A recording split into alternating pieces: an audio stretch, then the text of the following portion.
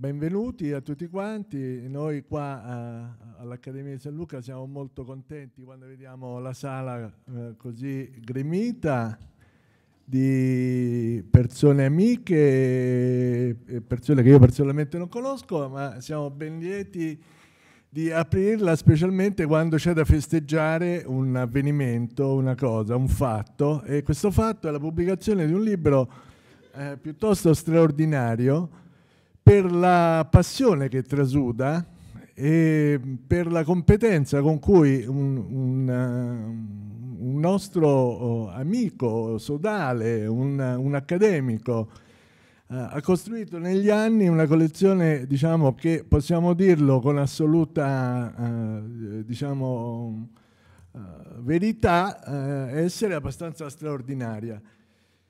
Noi dell'Accademia siamo oh, particolarmente contenti di averlo qua anche perché viene eh, di volta in volta investito di domande, di questioni su, su, su, cose che riguardano la nostra vita accademica, le nostre regole, le nostre...